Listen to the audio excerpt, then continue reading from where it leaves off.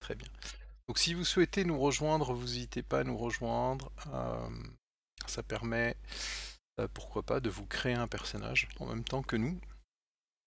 Donc qu'est-ce que nous avions vu la dernière fois? On avait vu un petit peu la première partie de la feuille de personnage, qui se trouve être celle-ci, qu'on appelle en communément la, feuille de personnage euh, mécanique, celle qui va vous permettre en fait de générer les unités narratives qui vont vous permettre de prendre en main la, euh, session, la partie de jeu. Donc elle est divisée en trois parties. Euh, la partie âme et archétype, qui va vous permettre d'avoir le nombre de dés à lancer. Ensuite, il y a la partie paradigme et nature profonde qui va vous permettre de, définir si vous avez combien d'unités narratives vous avez obtenues, combien de réussites vous avez obtenues. Et pour finir, la partie ressources qui permet d'identifier et de qualifier en fait euh, des, euh, des scènes pour générer des, des dégâts ou atteindre des objectifs qui doivent être quantifiés ou, ou qui sont quantifiables. Donc voilà, donc là pour l'instant en fait Freemain n'avait pas encore choisi son archétype, elle avait réparti un petit peu son ses âmes et ses, ses, paradigmes. Et ce que nous allons ce que nous allons voir de suite c'est la deuxième partie de la feuille de personnage, c'est-à-dire celle-là. On appelle à la partie euh, narrative de la feuille de personnage. Alors je sais pas si vous entendez, mon chat n'est pas hyper content. Il est en train de grogner. Parce que je suis pas en train de lui caresser la tête? Euh, donc, Freemay, euh, est-ce que tu as une idée de ton personnage ou est-ce que tu avais des questions à poser par rapport en fait à la précédente, euh, précédente session que nous avions eue? Oui, oui, j'avais des questions euh, sur, sur un personnage qui potentiellement pourrait faire du soin. Qu'est-ce qu'il aurait le droit de soigner? Est-ce qu'il aurait le droit de faire regagner des, euh, des points ou, ou juste ses PV? Donc, du coup, parce que bricolette, bricolette c'est rigolo, mais Ah, Bricolette, heu, moyennant tout, heu, je pense que niveau utilité, heu, on n'est pas top, quoi. Bricolette, alors Bricolette n'est pas moyenne en tout, elle est on peut déjà voir, on va zoomer un peu sur ses, sur ses caractéristiques. Euh, Bricolette n'est pas moyenne en tout, elle est, elle est, en fait c'est un personnage dit déséquilibré, on en avait déjà parlé. Mmh. Euh, donc elle a mis en avant euh, une partie liée à son, on va dire, à sa, à sa créativité, son dynamisme, donc la partie extrêmement active, vive de son personnage. Et elle a mis de côté un petit peu la partie un petit peu statique, un peu figée de, son, de son personnage. Donc rien, rien qu'avec ça, en fait, déjà, elle peut faire énormément de choses, Bricolette. maintenant, imaginons que Bricolette, on lui avait donné comme spécialité nanodrone. Euh, mmh est-ce qu'on peut imaginer que, euh, que, Bricolette a la possibilité de, par exemple, euh, de, de, de, générer des, des, espèces de capsules de, nanopro, de, de, nanotechnologie que, que les personnes peuvent s'injecter ou qu'elles pourraient injecter dans des personnes, par exemple. Mmh Est-ce que ça pourrait les soigner du coup? Alors ça pourrait, ça pourrait les soigner, ça pourrait les, euh, ça pourrait les, les, réduire dans un état catatonique, ça pourrait les faire fondre, ça pourrait, ça pourrait les, transformer dans, à peu près tous les états possibles et inimaginables. Euh, donc comment, comment on traduit ça dans Imperium? On peut traduire ça en fait de deux manières. Bah, d'une part, on peut définir une spécialité, euh, c'est-à-dire qu'en fait, on va, on va lui mettre une, une, compétence qui est euh, dérivée de, euh, de sa capacité à bricoler et qui, et qui s'insère en fait dans, dans la logique d'Imperium. donc, la logique d'Imperium. Je me débarrasse de mon chat. Voilà, c'est bon. Je ne l'ai pas tué. Aucun animal n'a été tué durant cette scène. Donc si dans la spécialité, on peut lui rajouter par exemple hem truc genre, nanobiologie. OK. D'accord. Heu, ou il me souligne ça, mais c'est pas grave. Heu, sinon on peut on peut lui ajouter, hop, étude du plasma. Donc le plasma, c'est le composé, qui est utilisé pour reconstruire les gens. Pour le rebuild. Exactement, pour le rebuild. Donc voilà, donc en fait, c'est, heu, grosso modo, c'est se créer une, une spécialité puisque en fait, heu, bricolette, c'est son archétype, donc on va définir au fur et à mesure, heu, ce qu'est bricolette, heu, compléter. Hem et on est parti, au moment de sa description, on est parti sur l'idée que, que que que bricolette, donc c'est pas son nom, hein, d'accord, puisqu'on n'a pas encore trouvé son nom. Bricolette, c'est son archétype. Heu, on est parti sur, bah, en fait, heu, quelqu'un qui est très débrouillard, qui arrive à bricoler, à modifier, à altérer un petit peu, heu, la technologie, la nanotechnologie. D'accord? Donc par défaut, en fait, on ne s'imagine pas qu'elle puisse affecter le plasma, qu'elle puisse, modifier un peu la structure, la structure, entre guillemets «ADN» d'une personne. Donc en fait, on va rajouter ça au sein d'une de ses spécialités. D'accord? Heu, ensuite on avait, heu, potentiellement défini on n'avait pas encore complètement défini l'ensemble de ses équipements. Heu, on peut tout à fait imaginer, ici lui ajouter un équipement qui va s'appeler, capsule bio, heu, biotech Mmh. multifonction.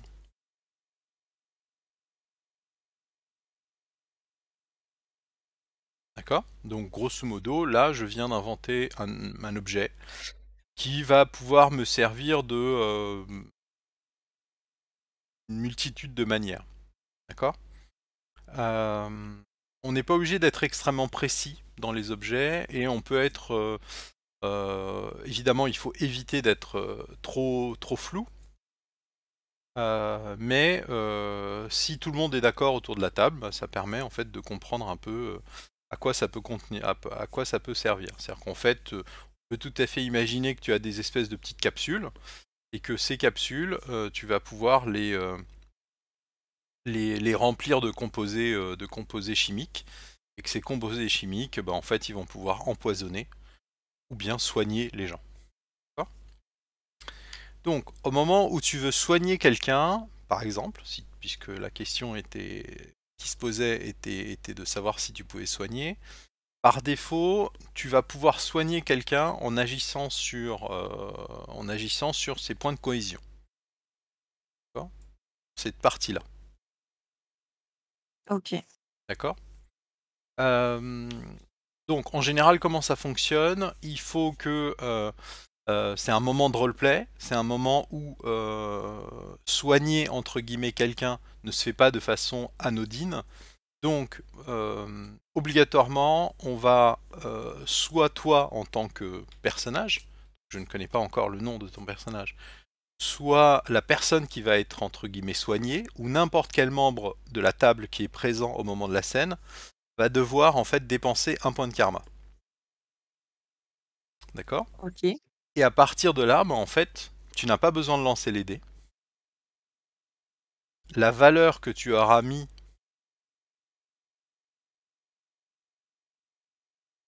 voilà, la valeur que tu auras mis à ta à l'objet que tu vas utiliser pour soigner quelqu'un, va venir en fait en nombre de points de vie que tu vas que tu vas donner à le à ta cible. D'accord? Imaginons là, j'avais perdu bah, social, c'est le mauvais exemple. Mmh mh. Imaginons là, j'avais perdu 8 points de cohésion. D'accord? Hem, on Il est va en récupérer 6. il va en récupérer 6. Mais quelqu'un autour de la table va devoir dépenser un point de karma. OK. D'accord? Et est-ce que du coup, on peut imaginer que, heu, avec, heu, ma capsule, je puisse rendre des points de karma ou pas? Non, les points de karma, c'est une valeur qui est pour l'instant en fait, heu, c'est une valeur qui est, un une monnaie d'échange entre le meneur et le et et le joueur. C'est du c'est du méta-jeu, c'est un outil de méta-jeu. Le meneur met dans une situation compliquée le joueur ou la joueuse, il donne au joueur ou à la joueuse un point de karma. Heu, le joueur ou la joueuse veut prendre la scène sans que le meneur n'intervienne, il dépense un point de karma. OK. D'accord? Donc là, en fait, qu'est-ce qu'on a fait? On est dans une situation de combat euh, ou de conflit. Euh, vous voyez arriver un espèce de, de, de, de, de croiseur de l'armée et il y a des centaines de milliers de drones qui sont en train de se disperser et en train d'aller dans votre direction. Et là, euh, Bricolette euh, sent qu'un de ses camarades va en prendre plein la gueule et donc elle veut déjà l'aider. Euh, et donc elle va, elle, s'approche de lui, euh, lui met une, de ses capsules en fait comme une seringue, elle l'utilise comme une seringue contre la peau de, son camarade. Et pour m'empêcher moi de, rentrer dans ta narration, eh bien tu vas utiliser un point de karma et automatiquement tu vas soigner ton camarade de 6 points de cohésion. D'accord? Donc, hello Wami. Euh, ravi de te voir. Ravi de, de vous entendre. Alors, je ne sais pas combien nous sommes. Nous avons déjà commencé un tout petit peu. Ah, Nous avons Sandrone. Bonjour Sandrone. Euh, donc voilà. Donc euh, ça c'est une des, méthodes. C'est-à-dire qu'en fait il n'y a pas besoin qu'un joueur soit soigneur ou soit euh, il n'y a pas d'archétype. Voilà. euh, à ce niveau-là d'obligation que quelqu'un puisse soigner ou non.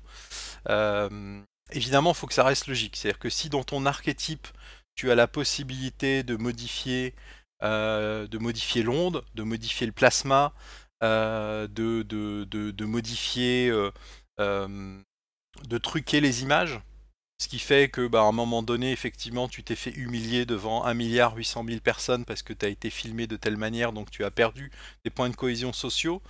Peut-être qu'un de tes camarades est un expert en médias et qu'il va te créer en fait une, euh, euh, espèce d'image. euh, euh, il va trafiquer, il va trafiquer les images, il va faire une, un montage média très spécifique qui va te revaloriser, d'accord? Euh, Et donc tu vas pouvoir récupérer euh, de cette manière-là en fait tes points de cohésion sociaux, d'accord? Un rebuild ne fonctionne que sur les points de cohésion physique, d'accord?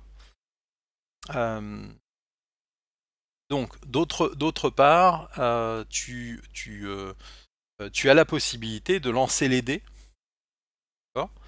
euh, pour euh, amplifier les soins que tu, veux, que tu vas apporter avec ta capsule. D'accord? Mais si tu lances les dés, ça veut dire que je peux rentrer dans ta narration. C'est le principe Ouais. de base dans Imperium. Si tu lances les dés, potentiellement les dés vont pouvoir me donner des points de narration et donc je vais pouvoir rentrer dans ta narration. Donc tu veux être sûr de pouvoir soigner la personne sans que je puisse intervenir. Tu, tu claques un point de karma. Euh, tu, euh, tu, tu es une joueuse invétérée et euh, tu trouves ça amusant que le meneur rentre dans la narration, bah, tu lances les dés. Mmh D'accord? Voilà. OK. Euh, mais quand tu lances les dés, bah, potentiellement tu peux générer beaucoup plus de points d'intensité que la simple valeur de ta capsule bio, euh, biotech. D'accord? Et donc tu peux bah, soigner beaucoup plus de personnes. Tout simplement. Que se passe-t-il si bien. tu perds un point de rupture Euh, Quand tu perds Ouais. un point de rupture, les points de rupture, en fait, on ne peut les récupérer que si on dépense une pause. D'accord? Donc il faut Ouais. absolument que, euh, euh, imaginons que Ricolette elle-même est blessée très grièvement, qu'elle a deux points de rupture. Ça. Et comme ça. Euh, elle est dans une situation critique et sauf si on change complètement de scénario, d'arc narratif, ces points de, de rupture en fait disparaissent pas. Donc c'est à l'initiation, à l'initiative de l'ensemble de la table de dépenser des points de pause pour imposer un changement de rythme et dire bah ok là on est en pause donc à ce moment là qu'est-ce que je peux faire?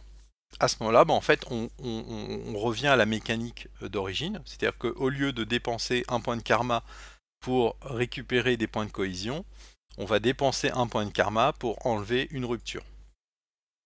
Ok, voilà. Euh, tu ne pourras dans un premier temps qu'enlever qu'une seule rupture avec un point de karma. Si tu es blessé, bah c'est comme comme euh, comme comme l'exemple qui est ici, bah, tu vas devoir en fait dépenser une deuxième pause pour pouvoir guérir euh, automatiquement.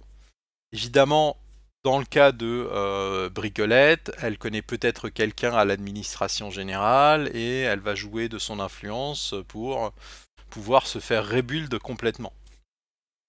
À ce moment-là, bah, en fait, c'est que de la narration ce qui va se passer, c'est que le rebuild enlève tous les points de rupture. Voilà. Euh, un rebuild, je crois que tu avais une question concernant les rebuilds? Oui, j'ai. Si, si. Euh, je voulais savoir si euh, lors du rebuild, après, on peut cacher notre identité ou pas. Alors, ça nous oblige à, à tuer toutes les personnes qui sont en train de nous écouter, mais c'est pas grave. On va, on va le faire. Désolé les gens. alors, pour se faire rebuild, la technologie du rebuild, les équipements, le plasma, tout ce qui est nécessaire pour produire le rebuild est sous le contrôle de l'administration générale. L'administration générale est une des branches principales de MU, et euh, l'administration générale euh, gère en fait euh, gère administre l'humain. Et donc c'est eux qui ont la technicité pour manipuler les pods de rebuild. L'histoire raconte que c'est l'administration générale qui a découvert la technologie des pods de rebuild et enfin qui l'a redécouvert et qui l'a utilisé pour reconstruire l'intégralité des survivants et de l'humanité. Euh, ils en ont euh, l'usage exclusif, euh, ce qui fait que tu peux te faire reconstruire complètement. Par contre, l'administration générale va le savoir. Ça ne veut pas dire que elle va transmettre l'information aux empires. Ça ne veut pas dire que les empires vont être au courant. Euh, par contre, euh, c'est dans les archives de l'administration générale. Avant, tu t'appelais Bricolette. Maintenant, tu t'appelles euh, Jocelyn. Jocelyn le bricoleur. ta structure. Parce que Bob s'était déjà pris. ouais, parce que Bob, le bricoleur s'était déjà pris, exactement. donc, ta structure est totalement on va dire, est totalement différente. Et euh, il faut des technologies extrêmement avancées pour essayer d'identifier au final la, corrélation entre Bricolette et, euh, Jocelyn. D'accord? Cette technologie en fait n'a pas, enfin, vraiment pas courante. Euh, et, et, nécessite en fait des objets ou des technologies, ce qu'on appelle des technologies prototech. Donc, un changement au sein d'un pod de rebuild qui te permet de changer d'identité, euh, te rend effectivement euh, change complètement ton identité. Et donc ça te permet effectivement de, de, récupérer tes, euh, tes, ruptures sociaux, tes ruptures physiques, l'intégralité, puisque tu n'es plus du tout la même personne. Évidemment, l'administration générale le sait. Donc, la deuxième question qui vient tout juste après, en général, c'est est-ce que certains pods de rebuild ne sont pas sous le contrôle de l'administration générale? Euh, Eh bien, la réponse qui vient immédiatement, c'est euh, c'est possible, mais je vous propose de jouer des campagnes d'Imperium 5 et vous en saurez plus. Euh, Donc voilà, donc on a, on a, on a répondu un peu aux questions concernant, les, les, les- soigneurs. Il n'y a pas de notion de soigneur, donc en fait il faut que votre archétype soit logique pour qu'il puisse apporter un soutien, soulager le stress, la souffrance, la douleur euh, de, de- de- des, personnes autour de vous. Et il faut en général que ce soit accompagné euh, d'un équipement ou d'une capacité de singularité ou d'une contact, donc grosso modo de ressources qui vont vous permettre ensuite de, de transformer en fait cette, cette, euh, cette compétence, cette spécialité en quelque chose de, de, de concret. D'accord? Donc c'est toujours en fait l'association des deux qui, qui vont faire que vous allez pouvoir, entre guillemets, soigner vos camarades ou vous soigner vous-même. Imagine que j'ai une capacité qui s'appelle euh, régénération. Mhm. Bah, j'ai voilà, c'est une capacité quantique euh, ou nanotechnologique où en fait bah, je peux restructurer de moi-même les particules de plasma que compose mon corps.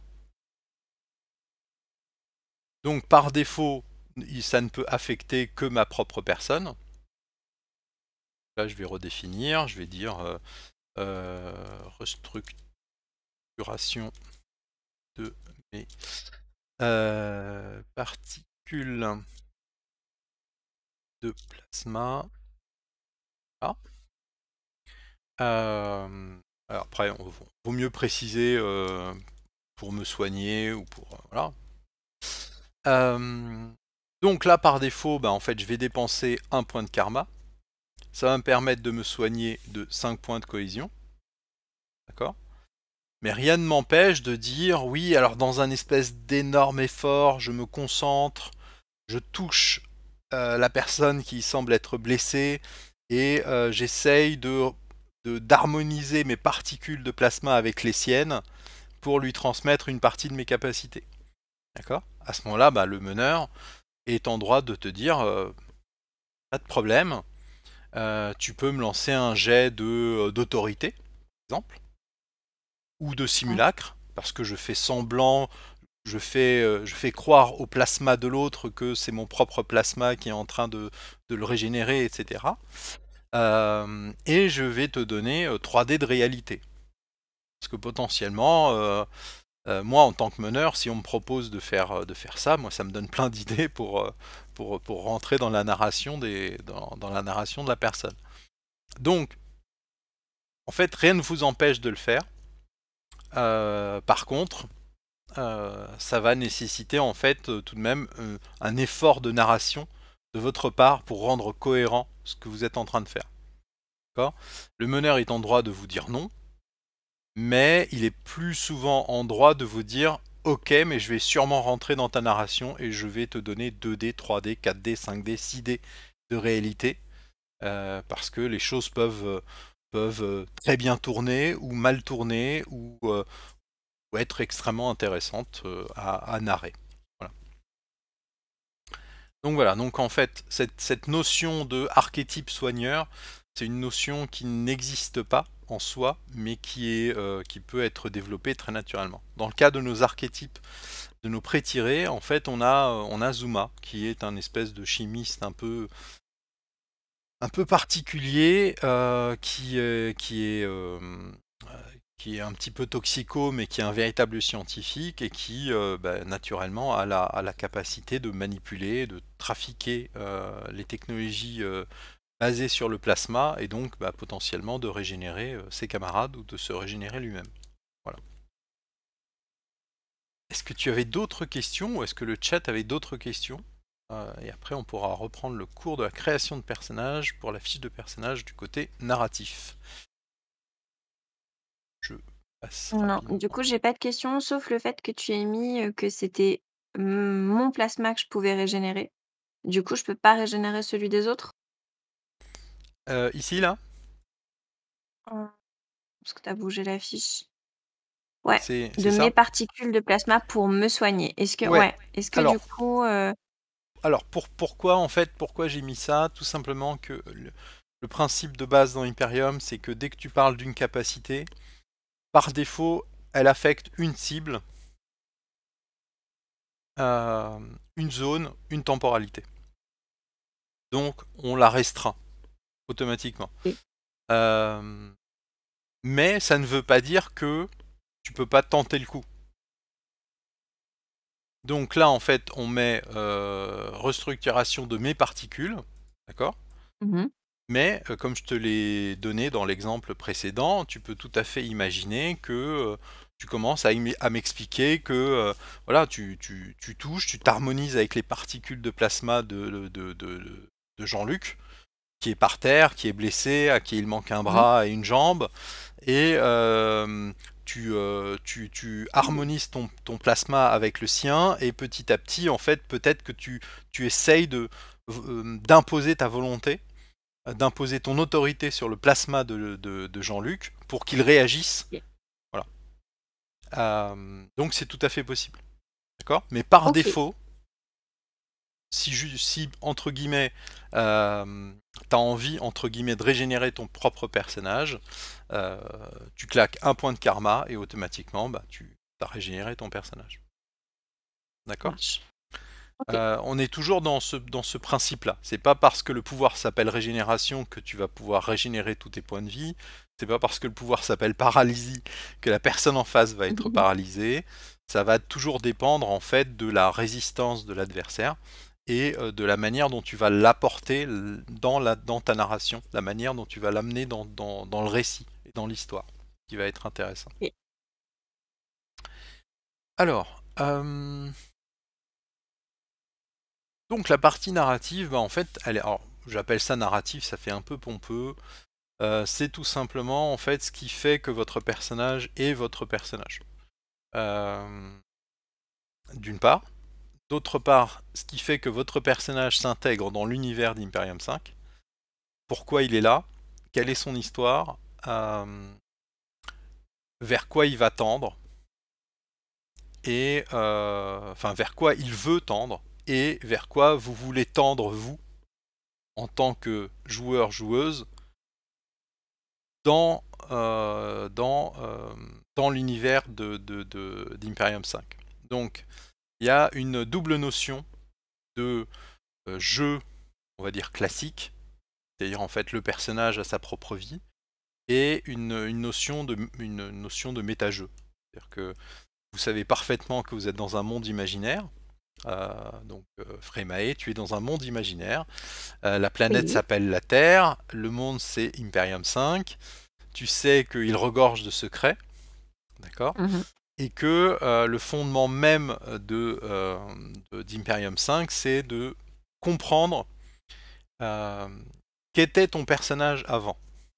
D'accord? Donc, automatiquement, en tant que joueuse, tu vas tout faire, logiquement, ou tu devrais tout faire, logiquement, pour découvrir ce qu'il était. Découvrir les secrets de l'univers. D'accord? Donc, ta manière de jouer sera différente de la manière de jouer si tu étais à Donjons et Dragons ou si tu étais dans un autre jeu. D'accord? Tu vas adapter ta manière de jouer parce que les mécanismes qu'on te, fournit, les secrets que tu vas découvrir seront différents d'un jeu à l'autre et la manière de les aborder vont être différentes d'une manière euh, euh, d'un jeu à l'autre. Donc en fait, pour moi, ça, c'est en fait, c'est du, c'est du méta-jeu. Et je l'accepte. C'est intégré complètement. D'accord? Donc voilà. Donc cette feuille de personnage, cette partie-là de la feuille de personnage, qui est en, train d'être, d'être euh, travaillée, retravaillée au fur et à mesure pour que la version finale, quand le livre de base sera terminé, elle, puisse être plus, euh, plus, euh, intégrée dans l'univers on a, on a, on va dire, on a ces deux composantes qui doivent remonter. La première composante, ça va être euh, qui est ton personnage, à quoi il ressemble, quelles sont ses identités, quels sont ses traits particuliers. Donc là, on est véritablement dans dans le le, le. Ouais, en fait, ce que à un moment donné, les autres voient de toi. D'accord. D'accord? On est dans Imperium 5. Donc, à un moment donné, comme tu l'as dit, euh, tu peux tout à fait te faire rebuild. Donc Mmh du jour au lendemain, les autres vont, vont pas voir nécessairement la même chose euh, si tu te fais rebuild en Jocelyn ou en, euh, euh, en, en une autre Simone. entité ou en Simone ou, une, ou en une autre entité euh, qui, euh, qui n'est peut-être pas qui n'est peut-être pas humaine. D'accord? Donc tu as tu as le nom de ton personnage. D'accord? Donc le nom de ton personnage tu mets, tu mets, tu mets ce que tu veux. C'est du, c'est du, c'est du classique, on va dire. On est sur une, sur une culture, on va dire plutôt terrienne, avec euh, une mixité euh, poussée à fond. D'accord? Donc tu peux avoir un prénom, un surnom et un nom. euh, tu peux avoir juste un nom. Tu peux avoir en fait une identité euh, très très complexe. Tu peux mélanger des cultures de différentes origines voilà, différentes sonorités, d'accord Mais on est dans une culture totérienne, d'accord Donc on va éviter les gardes à Cannes et autres, euh, autres terminologies euh, médiévales fantastiques, mais voilà, on, est, euh, on a un nom, d'accord Ce nom est très important parce qu'en fait, au final, c'est pas réellement le nom de votre personnage. Pourquoi? Parce qu'en fait, c'est le nom qu'on vous a donné au moment de la créa... au moment de votre premier rebuild. D'accord. L'administration générale, au moment où elle t'a rebuild la toute première fois, elle t'a donné une identité, une conscience, une compétence et un nom. Tu as été fabriqué pour rentrer dans le moule de la société. D'accord? Donc c'est pour ça que de, temps en temps, certains d'entre parmi les prétirés, ben, en fait, ils ont une, ils ont, ils ont des nicknames. Voilà, parce que, parce que, parce que ça leur parle plus, parce que c'est peut-être relié à leurs anciennes vies, d'accord, à leurs propres souvenirs qu'ils ont gardés. Donc c'est important que quand tu constitues ton personnage, tu vas avoir en fait le nom prénom que l'administration générale t'a donné. Et euh, à cela, tu vas te rajouter un surnom, un quelque chose qui euh, potentiellement te relie à ce que tu aurais pu être avant le crash quantique. D'accord? Voilà. Donc ça, c'est déjà en fait un élément constituant. J'ai ma vie actuelle, ne m'appartient pas, je sais qu'il y a une dissonance, et avant le crash quantique, j'étais quelqu'un d'autre, j'étais quelque chose d'autre, et j'intègre ça dans une espèce de piste. Je sais pas exactement ce que c'est, je sais pas ce que j'étais avant spécialement, mais euh, voilà. Donc là, en fait, on a euh, Irene, elle a comme euh, nickname Indiana. OK. D'accord? Euh, ensuite, tu vas avoir la partie, on va dire, euh, apparence actuelle. Euh, donc là, on a mis homme, femme ou autre. C'est Erin, elle est très spécifique, c'est une hackeuse. Elle elle n'a pas besoin de corps. Euh, elle a le rôle de hacker, donc en fait, elle, pourrait quasiment vivre. Elle n'a pas encore expérimenté, mais elle pourrait quasiment vivre sans corps. Voilà. Donc, euh, potentiellement, elle pourrait posséder, des corps, elle pourrait se faire construire des corps euh, qui sont positifs, négatifs, féminins, masculins, neutres, peu importe. Voilà. Donc, l'apparence actuelle, bah, tu, tu détermines en fait ce que voient les gens actuellement. Euh, au niveau des identités, euh, bah, tu peux avoir des différentes identités. Comme tu l'as précisé avant, peut-être que Mm. au moment où tu as été euh, que tu as été construite pour la toute première fois, reborn, durant le reborn, tu as été rebuild, eh bien potentiellement, imaginons ici, peut-être que ta première, i- i- euh, tu t'appelais Jocelyn. D'accord? Donc tu peux avoir différentes identités.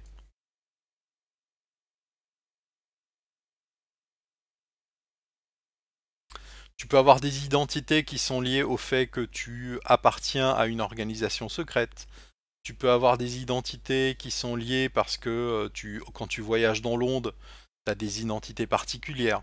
D'accord? Donc tes identités en fait peuvent être multiples. D'accord? Le nom de ton personnage, c'est le nom que tu as eu au moment de, du reborn, au moment en fait où tu as été reconstruite la toute première fois.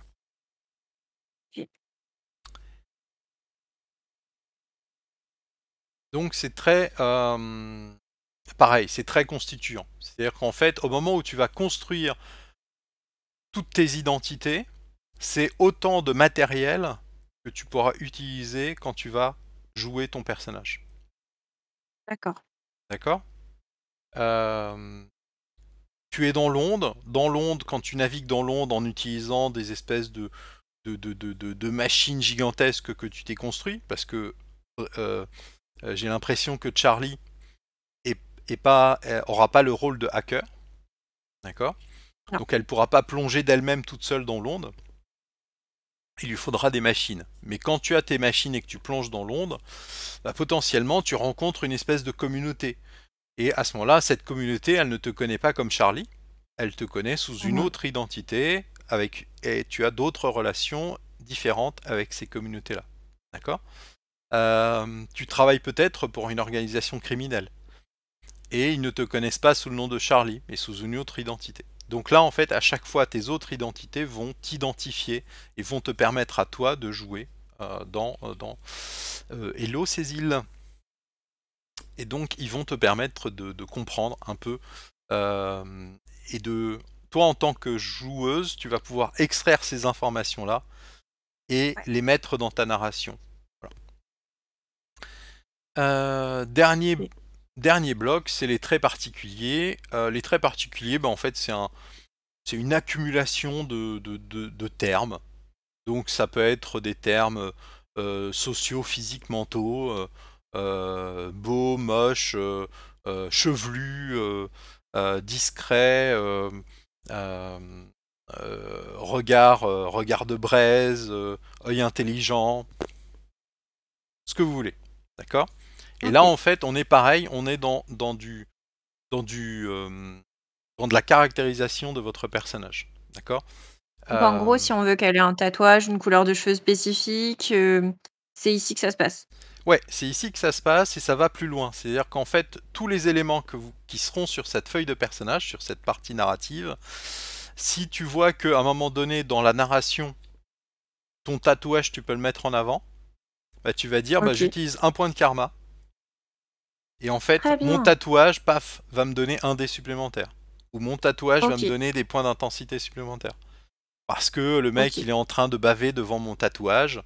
Euh, et donc, je détourne un peu son attention. Euh, en fait, c'est toi en tant que joueuse qui, en utilisant un point de karma, va raconter la scène.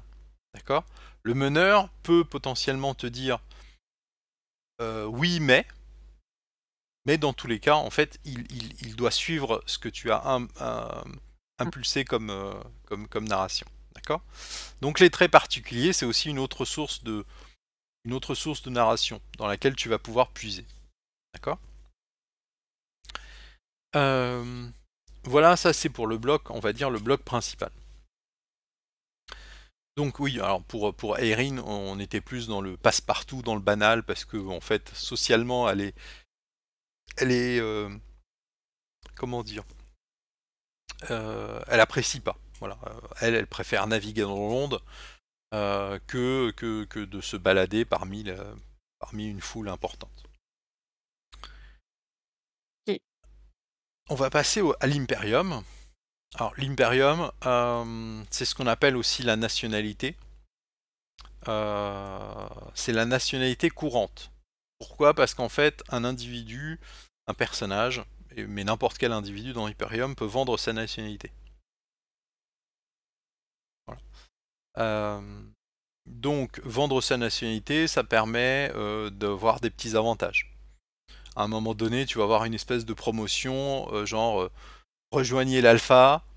si vous vendez votre nationalité et vous devenez un membre de l'alpha, vous allez avoir 3 rébules gratuits. D'accord Ou vous allez avoir un appartement qui va faire 3 mètres carrés de plus. D'accord. Voilà. Donc c'est une véritable monnaie. C'est pas une il y a pas de notion de citoyenneté, de de de de nationalisme, heu, et cetera. D'accord? Donc moi je peux appartenir à une société qui travaille pour le solarium. Il y a une OPA dessus, heu, faite par, par, heu, une autre société qui appartient à la Calab. Donc à ce moment-là, la société à laquelle j'appartiens, bah, elle va passer du solarium à la Calab et tous les employés de la société, bah, vont passer du solarium à la Calab et donc ton personnage, il va changer de nationalité. Voilà. Donc il y a pas de y a pas de c'est pas pas une très grande importance, d'accord? Pourquoi? Parce que ce qui est important dans Imperium, c'est, heu, l'être humain et un être humain a le droit, hem et c'est l'administration générale qui protège ce droit. Il peut aller vivre, travailler où il veut, quand il veut. Personne il y a pas de frontières, en fait. Voilà, pour donner un une idée un petit peu plus claire. Juste juste en dessous, nous avons, heu, à l'ADM ID, c'est ce qu'on appelle aussi le contrat ADM. Au moment où tu as été rebuild la toute première fois, hem, tu as tu as un contrat. Donc qui, heu, par défaut, c'est, heu c'est tout simplement un contrat ADM standard. D'accord? Je vais le copier à côté, si ça ne te dérange pas et je vais t'expliquer pourquoi. non, non. Imaginons à un moment donné, tu as, tu as commis un crime. Tu as Ah! été arrêté, d'accord? Et pour l'instant, tu es sous probation. C'est-à-dire que tu as, payé ta ta dette à la à la société et donc heu, mais par contre, tu es toujours sur sous surveillance. Bah, en fait, ton contrat, c'est un contrat zéro. Et que si on te si on te rechope la prochaine fois parce que tu as commis un délit, tu en prendras un petit peu plus cher pour ton matricule, ça c'est un petit peu plus critique. D'accord? Tu vas avoir ensuite des contrats hop, contrats spécifiques. Parce que tu vas avoir en fait signé des, heu, signé des accords spécifiquement en fait avec l'administration générale ou une organisation. Donc là en fait, ça, ça veut dire quoi? Ça, c'est que tu es tu es un fonctionnaire de MU. C'est que tu appartiens corps et âme à MU. D'accord? Super, grosse ambiance. Oui, oui, ben, il y a un des pré-tirés qui qui a un contrat de ce type. D'accord. Maintenant, tu vas avoir tu peux avoir des contrats des contrats alpha. Ça veut dire quoi?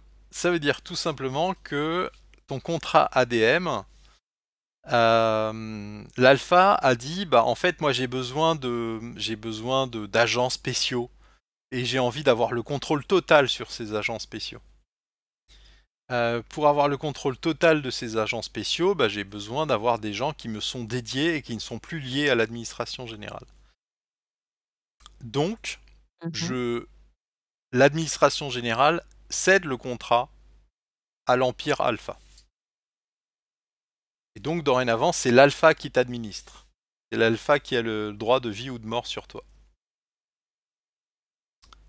Ça concerne très peu de personnes. C'est euh, principalement les agents très spécifiques, euh, ce qu'on appelle des opératifs ou des agents des Imperium. Donc parmi les pré-tirés, il y a un, un, un opératif de l'alpha. Et donc lui, son contrat, bah, c'est un contrat alpha. D'accord? Euh, donc c'est un choix que le personnage va faire. Enfin, que le personnage, que toi tu devras faire. Savoir si tu as un contrat ADM classique, si euh, récemment tu as, été, euh, été arrêté et euh, tu as un contrat zéro. Est-ce que tu as un contrat spécifique avec le solarium, avec la Calab? Ou potentiellement tu es comme, comme Erin, c'est beaucoup plus rare, parce que le, dernier choix c'est aucun contrat. Ça veut dire qu'en fait tu n'es pas une administrée. Ça veut dire quoi? Ça veut dire qu'en fait, euh, socialement, ça risque d'être compliqué. D'accord? À Erin, ça lui pose aucun problème. C'est que dès qu'elle voit une, dès qu'elle voit une caméra, elle peut la hacker. Dès qu'elle veut acheter à manger, elle peut hacker la machine. Dès qu'elle veut rentrer dans un lieu public surveillé par des par des par des par des bots, bah, elle peut hacker les bots. Elle peut donner, elle peut faire croire qu'elle a une autre identité, etc., etc. Donc, mais sinon, socialement, c'est très compliqué. Donc, à un moment donné, il faudra faire un choix sur euh, le type de contrat que tu, que tu vas avoir. Euh, je ne Est-ce que c'est possible d'avoir euh, un contrat, typiquement, vu que moi je veux faire de la recherche, puisque j'aimerais enfin, pouvoir manipuler le plasma hormis le mien de celui des autres, est-ce que c'est possible que j'ai un contrat scientifique, un contrat spécifique avec un, un Imperium en fait qui, qui est très intéressé par ce genre de technologie? Oui, à ce moment-là, tu serais tu serais agent d'un des Imperiums. Donc euh, les Imperiums, en fait, euh, t'aurais euh, aurais un contrat, par exemple, un, contrat Calab. Vous avez mmh sauvegardé, c'est-à-dire ces îles. Très étrange comme phrase. Vous avez sauvegardé. Je ne sais pas. Mais tu sais, îles, elle est dans le futur, elle, est avant. Exactement. Elle est incroyable. tout, est toujours sauvegardé, tu sais, dans l'Imperium. Rien ne se perd. tu peux tout retrouver dans Londres. Euh, le contrôle, le fameux contrôle S, exactement. D'ailleurs, faudrait, voilà, ça me donne une idée d'un NPC que je vais introduire euh, qui s'appellera Contrôle S, euh, qui sauvegardera ah. D'habitude, je les appelle les. Ça m'en donne des frissons. je, les appelle les archivistes, mais là il s'appellera spécifiquement CTRL S.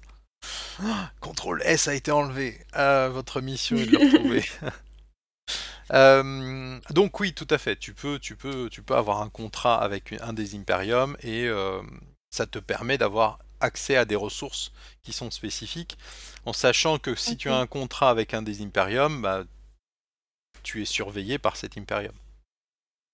Voilà. Mmh premier, euh. je suis toujours sage. Euh, ouais, ouais, ouais. Faut, faut se méfier de ça. Euh, voilà, donc ça c'est pour les contrats. Donc, concernant les Imperium, donc il y a 5 Imperium. je crois que dans une des vidéos, je vous avais fait un tout petit peu le topo des, des, des, 5, des Imperium. On est, sur une représentation, on va dire, terrestre du, globe.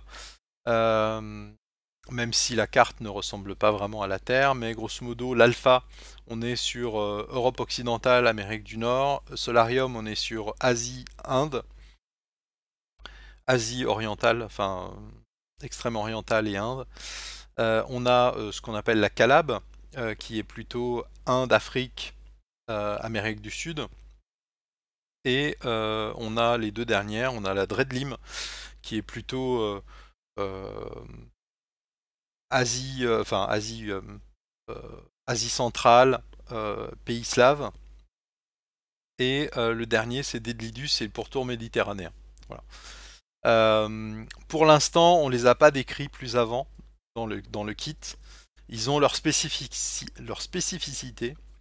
Ces spécificités sont, euh, sont pas exclusives. On n'est pas dans un monde euh, imaginaire, stéréotypé, parce que je, déteste ça. C'est-à-dire qu'en fait, tu vas pas avoir ceux qui seront experts dans un truc, les autres qui sont experts dans un burger. Euh, mon idole, ok.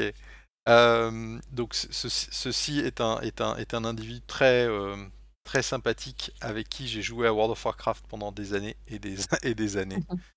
Euh, voilà, qui vient de, vient de popper. Je suis ravi de te voir. Euh, je te promis, je te, je te l'enverrai. Dès que, dès que je la trouve, je te, je te l'envoie. Euh, donc, donc on a ces cinq, ces cinq, ces cinq empires à la création de la table, au moment en fait où la meneuse et le meneur vont, construire un peu les, basiques, les bases euh, de l'univers d'Imperium, euh, vous aurez en fait des jalons à mettre pour savoir en fait où se situe tel euh, tel empire par rapport à tel empire. est-ce qu'il y en a un qui qui a l'air d'être plus avancé sur telle techno, etc. Ce sera à chaque table de définir exactement quel est le quel est l'équilibre qu'il veut donner initialement. D'accord? Mais on part du principe pour l'instant que chacun des Imperiums a un même niveau technologique, un même niveau de, euh, capacité militaire et une même volonté de, euh, domination mondiale. Un même niveau d'agressivité, de, belligérance et de fourberie, évidemment. Donc, le choix dans le cadre de Rebuild 0, c'est-à-dire dans le cadre du kit, est, euh, extrêmement limité au niveau des, au niveau des Imperium. Dans le livre, euh, le choix pourra être dicté euh, par, par des, des, avantages ou des désavantages que vos personnages pourraient avoir. Euh, ensuite, la partie, les parties un petit peu plus basses, qui suis-je Mon passé, mon avenir. Pour l'instant, elles sont, elles, sont, elles sont floues, dans le sens où on ne les a pas développées dans le kit de Build 0. C'est qu'est-ce que j'imagine être mon passé? Enlever, euh, je vais ça. Qu'est-ce que j'imagine être mon passé D'accord? Donc comment je m'imagine euh, Et mon avenir, c'est quelles sont les, les, les, les, les, choses sur lesquelles je veux travailler, sur, sur, sur moi-même, sur mes secrets, sur le secret du monde. Voilà. Qu'est-ce que je veux qu'est-ce que je veux découvrir? Voilà. Donc l'idée c'est de dire, bah, en fait, votre personnage est duel, il, est préoccupé par ce qu'il était avant le crash quantique, et il veut découvrir les secrets du monde pour savoir où est-ce qu'il va, euh, est-ce va être dans le futur. Et ça c'est euh, c'est l'élément fondateur. Donc c'est pour ça que pour l'instant c'est vide, mais dans le livre de base, en fait, ce, sera un élément très, euh, très intégré dans le jeu et toute la partie de création de personnages, création de l'entente, les différentes sessions zéro euh, travailleront sur ce, principalement sur ce bloc-là. C'est beau, tu, tu, causes comme un livre. Merci Burger, venant de toi, c'est un, compliment. Euh, la partie qui est juste en dessous, les souvenirs quantiques. cette partie-là va être beaucoup plus prépondérante dans les futures feuilles de personnages. Euh, les souvenirs quantiques, en fait, au départ, euh, pour ceux qui connaissent un peu les PBTA, donc je ne sais pas si Freemay, tu connais les PBTA. Bonne question. Ah, celle-là. Probablement, oui. Mais les PBTA, alors c'est par exemple euh, Monster of the Week, c'est les propulsés par l'apocalypse. D'accord. Voilà. c'est des, des, des, une mécanique de jeu euh, tu vas tisser des liens avec des NPC, ou tu vas tisser des liens avec euh, les, autres, euh, les autres personnages. Et quand ces liens sont, sont résolus pendant le jeu, bah en fait ça te fait gagner des XP ou ça te donne des rewards. D'accord? Donc les souvenirs quantiques, c'est le même principe, sauf qu'en fait, ils sont basés sur les souvenirs que ton personnage a de sa précédente vie, donc de ce qui s'est passé avant le crash quantique. Donc il y a toute une, il y a une petite mécanique dans le livre de base qui va te permettre de, euh, de construire cette petite scénette. Donc au moment où tu construis cette petite scénette, il faut que tu en construises trois. Tu, la construis avec les autres autour de la table. Donc tu peux l'imaginer avant, tu peux l'imaginer euh, pendant euh, la, la, session, l'une des sessions zéro. Vous n'êtes pas obligé d'avoir les trois souvenirs quantiques euh, au tout départ. Vous pouvez en fait les construire au fur et à mesure. Euh, Mais l'idée est très simple. C'est-à-dire qu'en fait, mettez-vous dans une situation qui est extrêmement forte, qui n'a pas de finalité, dans le sens en fait où ça ne te révèle pas quelque chose de très précis, mais ça peut aboutir potentiellement à quelque chose de très dramatique, de très positif, mais dans tous les cas d'extrêmement fort. C'est un souvenir suffisamment fort pour que, malgré le crash quantique, il soit resté imprégné en toi. Donc, prenons le cas de euh, notre chère amie Erin. Elle en a un. Le premier, c'est je flotte dans un liquide, mon cerveau est traversé de fibres. Donc là, on peut tout à fait imaginer tout et n'importe quoi. Euh, elle est peut-être dans un euh, pod de rebuild, euh, ou bien quelqu'un est en train de, l'analyser. potentiellement, elle est peut-être en train d'être régénérée. Quoi qu'il en soit, en fait, on ne sait pas quels sont les tenants et les aboutissants. mais c'est un élément très fort de son, souvenir. donc le but c'est d'en créer trois d'accord? Et qui soit composé d'une dizaine ou d'une quinzaine de mots, à peu près. D'accord? Euh, On peut atteindre les 20 mots, mais au-delà, ça, ça, devient un peu, plus, un peu plus compliqué. Et la mécanique sous-tendue, elle est, elle, est, elle est très particulière. C'est-à-dire qu'en fait, au moment où tu vas te souvenir euh, de, ce, de, de, de cette phrase, c'est que pendant le jeu, tu vas te retrouver dans une situation qui est assez proche. D'accord? À partir de ce moment-là, en fait, le meneur va te proposer, soit en aparté, soit pendant le jeu, de, euh, de compléter cette phrase. Et donc de rajouter des mots. De préciser en fait ton souvenir. De l'étendre. Peut-être que en fait je flotte dans un liquide, mon cerveau est traversé de fibres, je vois des êtres translucides, euh, en train de me tourner autour. Voilà. Complète. Du coup, du coup, pour simplifier, en fait, là, les souvenirs quantiques, ils sont euh, très flous à la création de perso et on les étoffe au fur et à mesure du jeu. Exactement. Ok. Et on découvre en fait petit à petit par ces biais-là qui on est.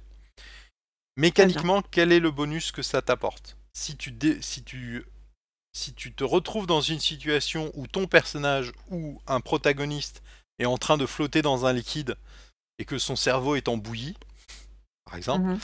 euh, là tu vas dire au meneur, hmm, ça me rappelle mon souvenir quantique, euh, je me sens pas à l'aise, euh, et donc là, bah, potentiellement, tu rentres dans une, dans une narration avec le meneur. À, partir de ce moment-là, donc tu as ce petit moment d'aparté que tu vas devoir avoir avec le, avec le meneur qui va te faire vivre ton flashback.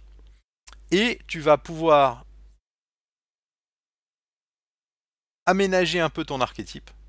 Parce que ton archétype, en fait, il va peut-être évoluer au fur et à mesure du temps. Donc c'est le moyen, c'est un des moyens de modifier ton archétype. D'accord? Tu vas avoir la possibilité de, de débloquer tes paradigmes. En fait, plus tu renforces ton lien avec ton passé, plus tu as de force sur la réalité qui t'entoure. Plus tu peux imposer ta volonté sur la réalité. D'accord? Donc tu vas pouvoir débloquer euh, tes paradigmes. Potentiellement, bah, tu vas pouvoir, pouvoir utiliser euh, deux fois humanité dans une même session de jeu. D'accord? Tu vas pouvoir améliorer ta capacité à euh, faire des rerolls à faire des pauses, à aider tes camarades. D'accord? Euh, C'est la seule manière de progresser. C'est-à-dire que plus ton personnage, plus tu connais ton personnage, plus ton personnage se connaît lui-même, et plus il a une maîtrise sur la réalité qui l'entoure. Voilà. Très bien. Inversement, de temps en temps, le meneur est un quelqu'un d'extrêmement méchant, et il va te dire tu es dans une situation extrêmement difficile, délicate, et euh, au lieu de te faire perdre des points de rupture, euh, il va te dire, visiblement, l'entité qui passe à côté de toi t'a absorbé la mémoire. Et tu vas choisir un mot. Oh, c'est terrible. Et tu vas l'effacer de ta mémoire. Mmh. D'accord? Le seul moyen, on va, le véritable moyen pour que ton personnage en fait meure dans Imperium, c'est qu'en fait, enfin un des seuls moyens, parce qu'il y en a d'autres, faut pas exagérer non plus, euh, c'est qu'en fait tes souvenirs quantiques disparaissent. À ce moment-là, en fait, tu deviens un simple mouton comme un autre, puisque tu n'as plus rien qui te relie à ton passé, donc la réalité euh, que l'administration générale a construit autour de toi Euh, je, je- je lis les, les- les phrases de Burger, donc c'est assez dingue. Euh, merci, merci Burger, Euh, je le savais. Je crois qu'il y a quelque chose là, hein. ah mais avec Burger, ouais, mais ça fait, mais ça fait des, ça fait, ça fait des années, des années que c'est intense. Oui. Donc, je me concentre parce que ça me rappelle plein de souvenirs, tout ça. Euh, tu sais, quand tu, quand tu, petit aparté, quand tu joues pendant des années à World of Warcraft et que, et que tu try hard des boss euh, euh, dans, dans des raids et que t'as un mec euh, à l'autre bout du, du, du, du TeamSpeak qui, qui, qui raconte n'importe quoi ou qui s'endort ou qui en, qui en a rien à foutre de ce qui se passe, c'est toujours assez amusant. Donc ça, c'est toi ou c'est lui du coup? non, ça c'est ça, lui et son, et son, et son compère qui habite, euh, qui habite Lyon. Euh, voilà. D'accord. Voilà. Moi j'étais extrêmement sérieux. Moi j'étais Ah, comme toujours. Exactement. Donc, euh, si tu perds en fait tes souvenirs quantiques, tu n'as ton, ton personnage n'a plus de raison d'être. Voilà. Les raisons d'être de ton personnage, ce sont ses souvenirs quantiques, sa- la volonté de se, racheta- de se rattacher à son propre souvenir, à son propre Mmh passé. Euh, s'il n'en a pas, s'il n'a plus envie de se rattacher à quoi que ce soit, eh bien évidemment, euh, bien il disparaît. Il n'a aucun intérêt, donc le personnage meurt entre guillemets. OK. Voilà. Euh, on va passer assez rapidement sur les informations générales. Ça, c'est juste un bloc de texte qui va te permettre de, de compléter, de rajouter différentes informations au fur et à mesure de la de, de- de l'aventure. Euh, on a ce petit bloc de rebuild. Euh, c'est toi qui détermine. Donc pour l'instant, dans le cadre du kilt de rebuild, il n'y a pas de conséquences. Euh, en jeu, au sein du livre de base, plus euh, tu as de rebuild, donc imaginons, paf, t'as plein de rebuild comme ça là, et plus, entre guillemets, t'as d'expérience, plus t'as de points de karma, plus t'as d'XP, plus tu as de euh, plus t'as du vécu. D'accord? Mais ça veut dire qu'en fait, t'as subi énormément de rebuild. Donc quand je parle d'un rebuild, c'est un rebuild total. C'est pas juste on t'a fait repousser un bras, c'est on t'a reconstruit complètement parce que euh, parce que t'as été explosé, t'as été dispersé, etc., etc. Et il semblerait que plus tu te fais rebuild et plus en fait tu as une petite notion d'entropie qui rentre en compte et qui fait que euh, euh, tu perds un peu de ta, hum, de ta solidité mentale. OK. D'accord? Et il y a un nombre de cases limité. C'est parce que arrivé à un moment donné, bah, tu ne peux pas te faire rebuild indéfiniment sans avoir des conséquences très fortes psychologiquement. OK. D'accord?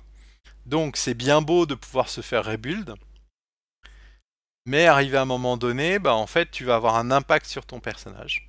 Et donc, dans le livre de base, on va t'expliquer que à partir de X rebuild, tu dois intégrer dans ta narration, dans la manière dont tu dois jouer ton personnage, un grain de folie, une, mutation physique, sociale, mentale, euh, qui, euh, qui affecte complètement en fait ton personnage et surtout toi, ta manière de jouer en tant que joueuse. D'accord? Très bien. Euh, Donc voilà, donc c'est très important. Et si c'est toi qui décides si tu veux voilà, tu peux tout à fait dire à la création de ton personnage, moi j'ai jamais été rebuild depuis le départ. Donc en gros, ça peut être mon premier rebuild. Ouais, c'est ça. En fait, tu vas avoir un tout le monde a un rebuild initial. C'est un moment juste après le crash quantique, tout le monde a été rebuild une première fois. Celui-là, on le comptabilise pas. Très bien. Mais ensuite, tu vas, euh, tu vas pouvoir euh, euh, mettre un rebuild. Et évidemment, c'est aussi de la narration. C'est-à-dire qu'en fait, si je mets, si je remets un peu, un peu de contexte, voilà. Imaginons, je fais ça. Voilà. Il y a 3525 jours, j'ai eu un rebuild. Ok. À un moment donné, tu vas pouvoir dire, ok, je me souviens parfaitement.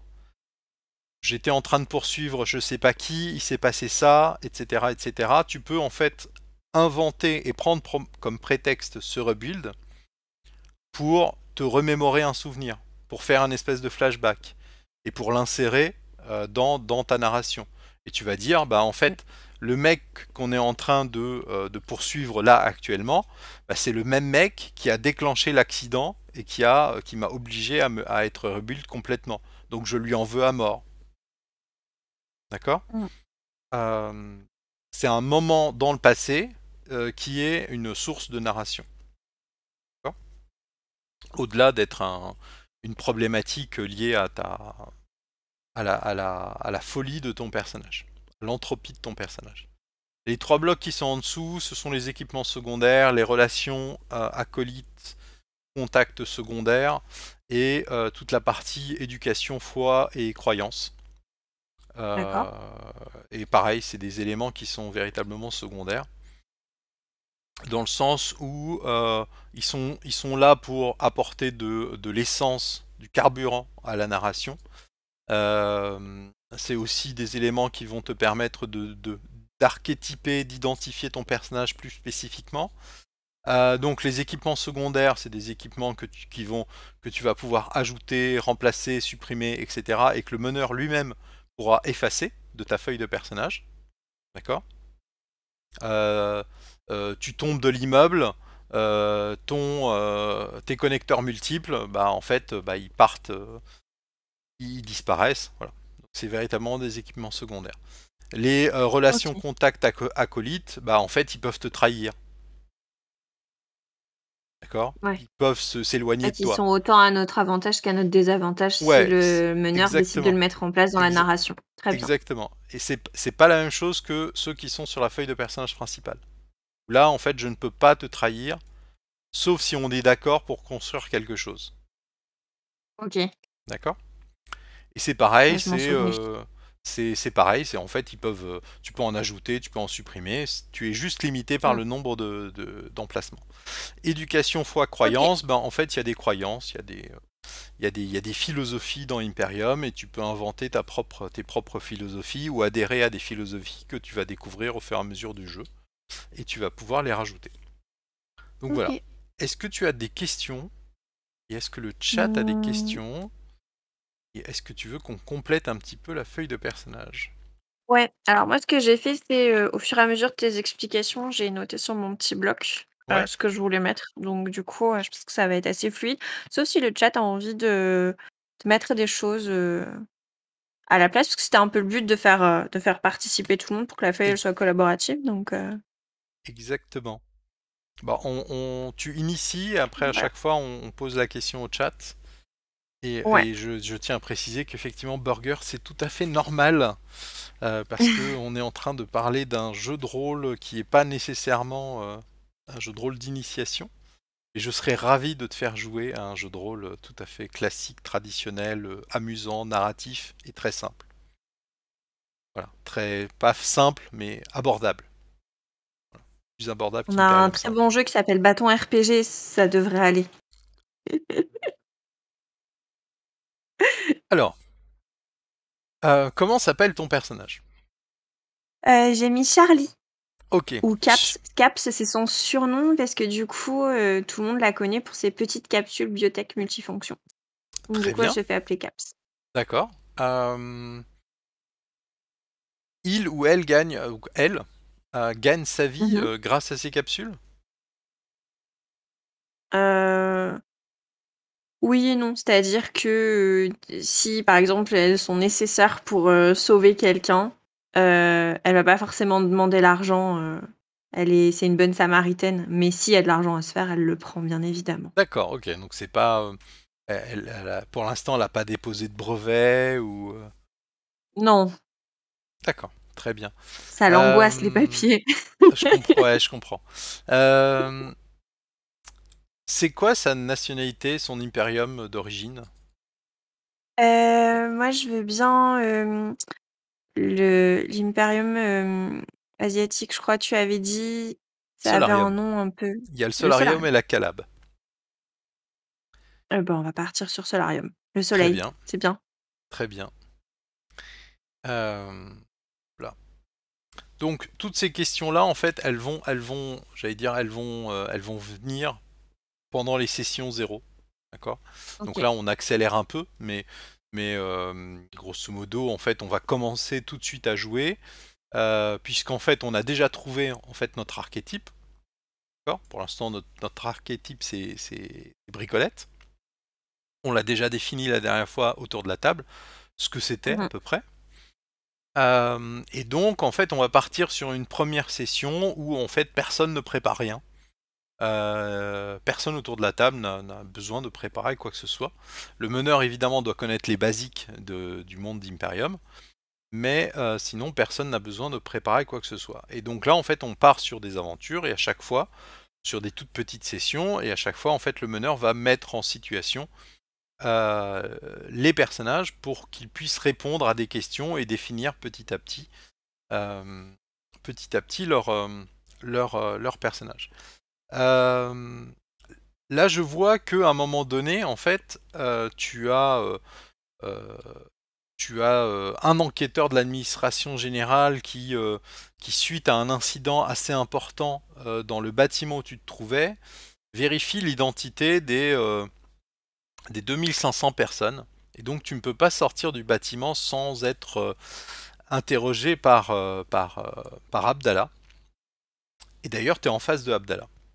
Abdallah, OK. on on le connaît, un grand gaillard, heu heu, il a une petite réputation, et il te demande ton ton identification ADM. OK. Quelle est ton identification ADM? Mais j'en ai plusieurs du coup ou pas? Ah bah, ça dépend, donc ça, c'est ton contrat ADM. Donc il faut définir en fait quel est le quel est ton contrat. Ben, du coup, on avait parlé, heu, de, mmh, que j'étais, heu, étudiante scientifique pour un Imperium, il me semble. C'est Tout à fait. l'idée. OK. Ouais. Et Du donc ce coup, elle serait quoi? Ce s'appellera, heu serait ce serait pour le solarium? Ce serait oui, oui? D'accord. corporate, ouais, ouais. Donc tu travailles directement pour un empire? Pas pour une entreprise d'un empire, mais véritablement dans les centres de recherche d'un empire. Ouais, une sorte d'université, je sais pas ce qui existe, mais en gros, je travaille je suis vraim j'ai vraiment en recherche de je suis chercheuse, quoi. d'accord, Pas pour une boîte privée, hein, pour, heu, pour la nation. ouais, très bien. C'est l'idée, en fait. exactement. Alors ce serait pas pour la nation, ce serait pour l'empire. Oui, Hem, exactement, pardon. mais mais effectivement, donc tu serais, te tu tu serais agent du solarium, Mmh. heu et donc ça, par exemple, ça peut se mettre dans les autres identités. Tu peux Oui, rajouter, du coup, heu elle s'a elle s'appelle pas pareil, en fait. J'ai trouvé 3 autres identités d'accord. Alors pour Je suis plutôt efficace en création de perso. Alors pour dans dans dans le cadre, dans le cadre qui nous qui nous qui nous intéresse en fait, heu, ton nom de personnage c'est, le nom, que l'administration générale va connaître, va identifier, Mmh. d'accord? Heu, potentiellement c'est le nom, heu, que le solarium va connaître de toi et et après, bah, effectivement tu pourras, au sein de ton équipe spécifiquement avoir un des noms, voilà. Et donc là, bah, en fait, tu peux les rajouter au niveau de tes de tes autres, heu, de tes autres identités. Donc dans tes autres identités, ça peut être des noms, ça peut être des, heu, des des des, hem, des informations concernant en fait, ton ton service actuel, le service, heu heu, recherche et heu et des intégrations. Heu, faut pas hésiter en fait à rajouter du vocabulaire, des adjectifs dans Imperium pour colorer un peu le le la situation, voilà. Alors, Hem j'ai pas accès à autre identité, je peux pas écrire. Alors, ouais, bah, en fait, tu fais un copier-coller, c'est-à-dire que tu sélectionnes un texte, tu fais un OK. CTRL-C et tu fais un CTRL-V. Voilà, tu vois? Voilà. Tu peux, OK. c'est c'est c'est voilà, c'est c'est plutôt plutôt simple dans Miro. Il y a pas de champ prédéfini, en fait. OK. Heu, du coup, son identité 1, j'ai mis scientifique pour, heu, l'Imperium, c'est ça? Et on a dit Solarium, je crois. Exactement. Ok. Sa deuxième identité, elle a une identité dans l'onde. C'est genre comme un vieux conte, un vieux conte de chat qu'on avait dans les années il y a longtemps. Et du coup, son idée dans l'onde, c'est Ondine 432. Ok, d'accord. Ah, très bien. 432. Ok, non mais faut, faut, faut, juste, euh, faut juste me, me... Alors, t'as pas besoin de me l'expliquer, mais un jour ou l'autre, je pense que, que... Mais non, en fait, c'est euh, 4321 parce que ça fait un 2, 3, 4 à l'envers, c'est tout.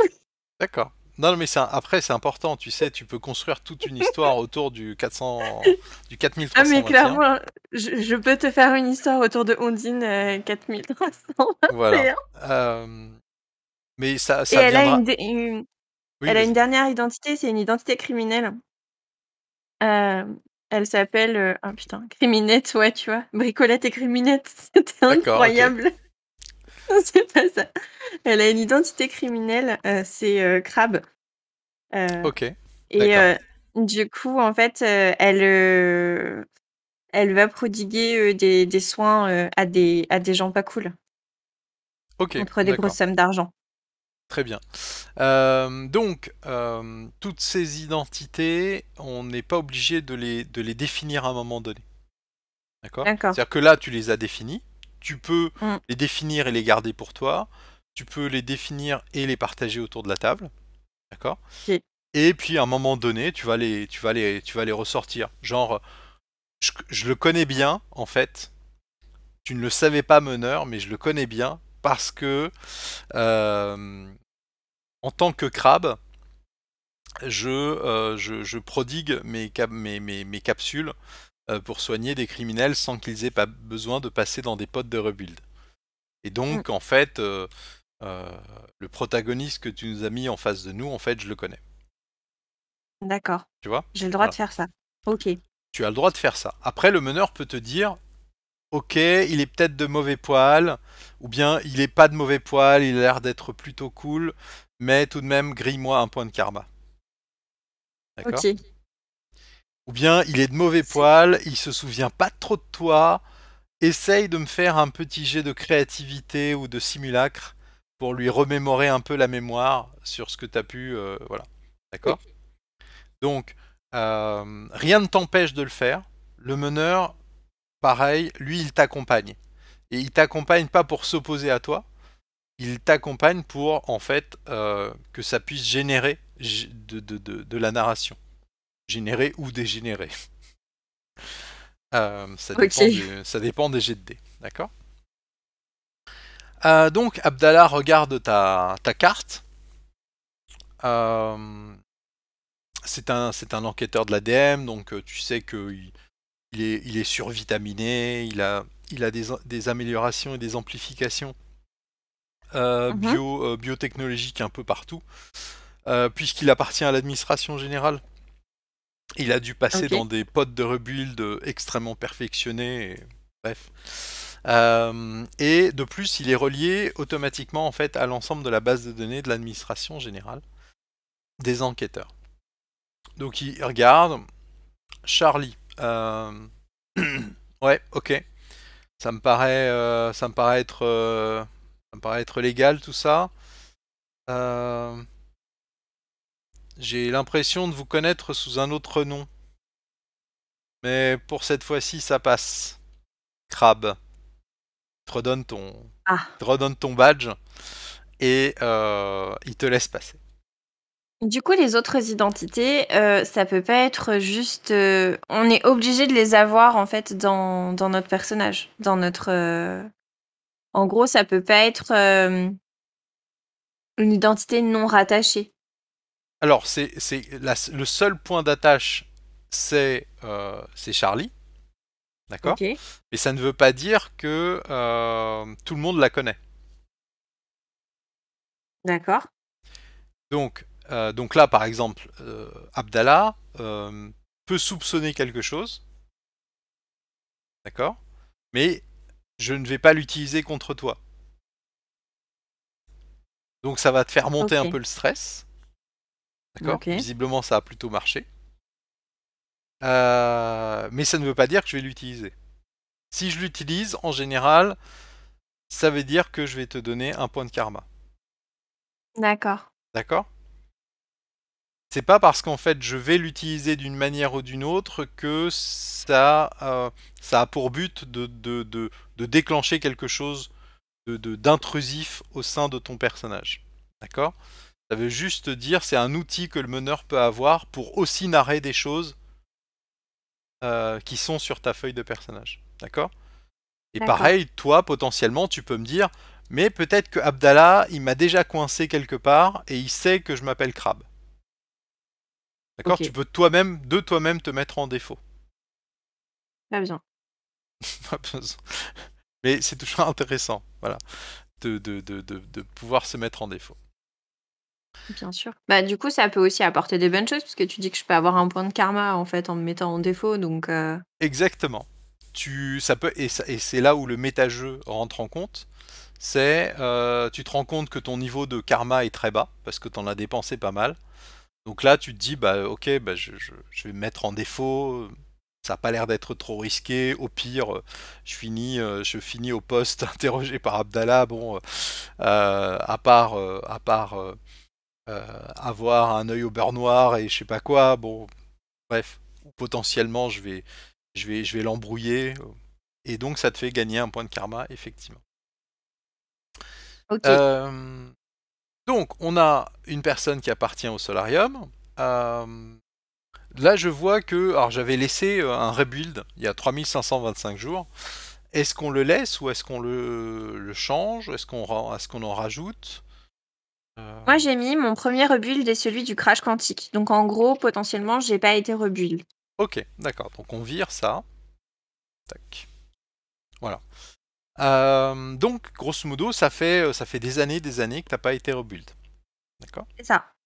Euh, ça veut dire que, petite, petite information, ton, ton personnage n'a pas de notion, il n'y a pas de notion de vieillesse, de d'âge mm. et de notion de jeunesse. Ça, c'est quelque chose qui est important, qu'il faut garder en tête. Très bien. On va laisser le bloc euh, qui suis-je parce que parce qu'il est il est plutôt flou.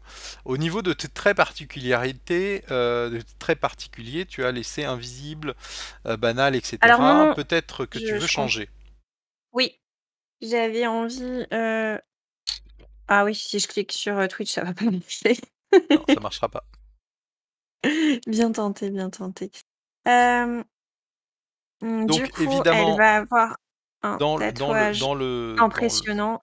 Dans le, chat, si vous souhaitez influencer un petit peu Frimae, euh, voire totalement, vous pouvez suggérer des choses. Et elle est minutieuse.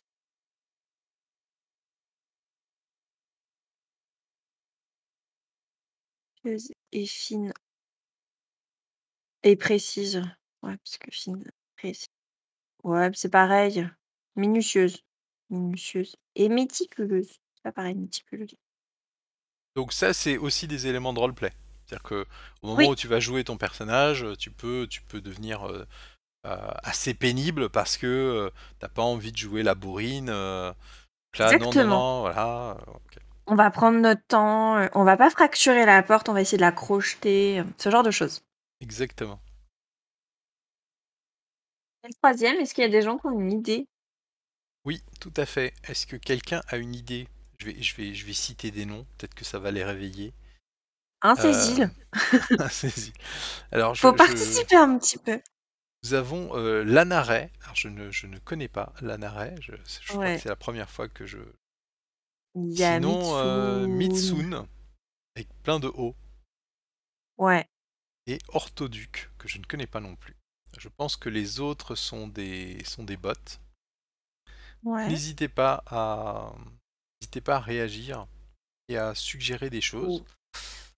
Ou, alors ils sont timides les autres. Ou, si pas alors ils sont timides, ouais. Euh, on, va, on va le laisser un peu en suspens. Euh, on va passer au souvenir quantique. C'est un élément important. Est-ce que tu, as, tu avais déjà réfléchi un petit peu à des souvenirs quantiques? Euh, Qu'est-ce que j'ai dit tout à l'heure?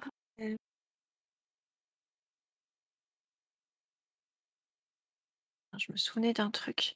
Si, je je me vois, hem, alors faut pas que la phrase soit trop longue et alors ça, ça va être compliqué, des très longues phrases, hein. Je suis pas connue pour, heu, être succincte quand je parle. Qu'est-ce que j'ai dit? Hem Mmh. En même temps, ces phrases, elles sont belles et poétiques, hein. J'ai envie d'avoir, ce genre de choses. Du coup, hem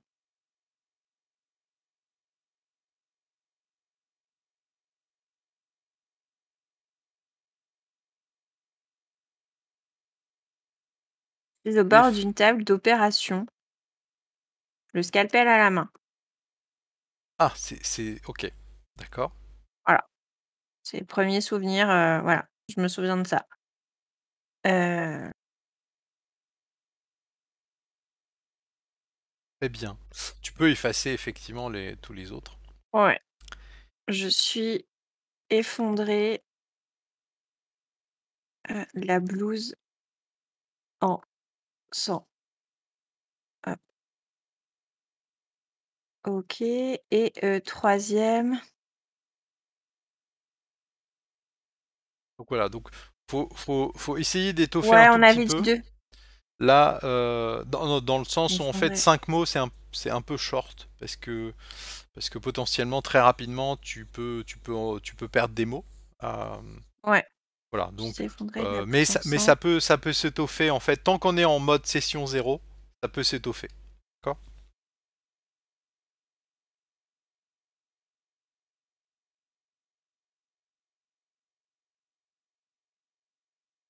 Que ça te va mieux?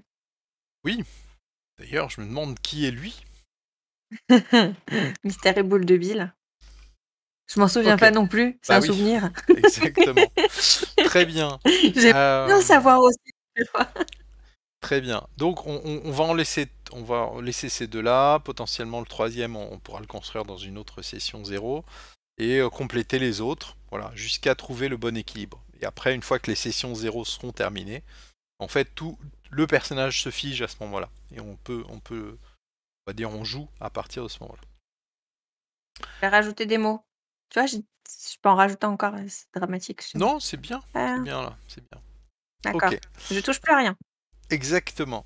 La partie inférieure, information générale, hem, dans le cas des prêts tirés et seulement dans le cas des prêts tirés, en fait tous les prêts tirés ont au moins un clone.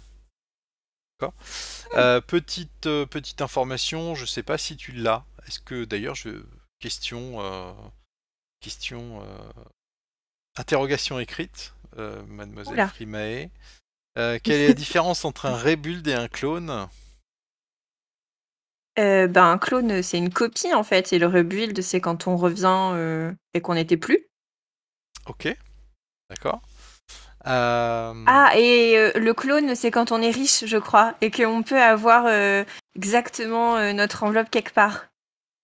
Exactement, bravo. On est Yes! on est proche du du 15/20. Hem Oh, c'est tout! C'est pas exactement alors? C'est énorme, c'est énorme 15/20, tu te rends pas compte. Donc effectivement, en fait, un clone, donc pour les prêts tirés, il y en a 1. Pour les personnages, au départ, il y en aura pas. Donc c'est quelque chose qui peut être acquis, heu, qui peut être négocié, heu heu et donc ça va vous permettre en fait de de de de d'enrichir, votre personnage et de lui donner un peu plus de survie qu'il n'en a. Parce qu'il ne faut pas croire, dans le monde d'Imperium, il y a ce qu'on appelle des horloges millénaristes et heu, ces horloges millénaristes, en fait, rendent petit à petit l'ambiance du monde beaucoup plus sombre et difficile. C'est-à-dire qu'au départ, heu, oui, on est tranquille, un petit rebuild par-ci, un petit rebuild par-là. Puis on se rend compte que, bah, en fait, heu, au bout d'un moment, les rebuilds, ils ont des effets un peu, un peu dangereux. Heu et puis on va se rendre compte au bout d'un moment que, bah, les les les choses sont peut-être pas si faciles que ça. Heu, mécaniquement, heu, le nombre de de réussites minimum pour, réussir une action ou pour interagir, pour faire pour, pour pouvoir avoir de la narration sur le monde c'est, une unité narrative. Cette notion d'unité narrative, au fur et à mesure que le monde va évoluer, va être de plus en plus restrictive. C'est-à-dire que, pour pouvoir avoir le même temps de parole il vous faudra peut-être 2 unités narratives, puis 3. D'accord? Heu, donc au fur et à mesure que vous allez découvrir des choses, que vous allez découvrir le monde d'Imperium et que vous allez agir dessus, bah, automatiquement lui, il va être en réaction et donc les choses vont devenir un peu difficiles et les clones sont des outils, des moyens qui vont vous permettre de de rallonger votre survie, la survie de votre personnage. Donc c'est un c'est un moyen, heu, de c'est un outil de négociation, heu, que que vous pourrez avoir pour, heu, pour survivre. Très bien, donc au niveau des informations générales, tu peux mettre ce que tu veux, décrire un peu, un petit peu ton personnage, la manière dont il s'habille, ce genre de choses, heu, où est-ce que, heu, potentiellement, heu, est-ce qu'il a son propre petit laboratoire? Est-ce que dans quelle ville il habite, principalement? Est-ce que, est-ce qu'il y a des gens qui travaillent pour lui? Et cetera, et cetera, et cetera. Voilà, donc là, c'est c'est du c'est du pur, c'est du pur descriptif qui, dans tous les cas, sera ut utile et utilisable, que ce soit par le meneur ou que ce soit par le par le joueur. N'importe quoi.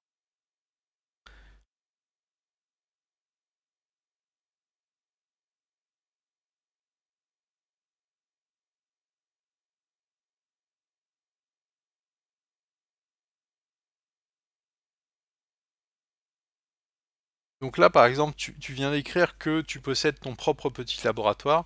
Ça, ce sont en fait, c'est véritablement ton laboratoire, pas celui de, heu, du solarium. Donc je pars Non, du c'est celui où je fais principe mon trafic. voilà, je pars du principe que c'est un laboratoire que le solarium ne connaît pas sauf si le Alors, heu, solarium t'a injecté, heu, des choses, au niveau oculaire et qu'ils Si, si, enregistrent l'ensemble de tes